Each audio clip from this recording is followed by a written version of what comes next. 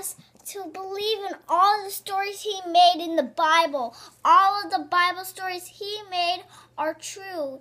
He wants you to believe in all of them. He he wants all the Americans, even the people in Japan, to believe in his stories he made. It God makes the sun bright all the time. He's the one who controls us. He's the one who makes us do what we have to do. He is the one who's important for all. We should listen to his rules. We have to do what he says, what we have to do. If he says don't do it, you don't do it.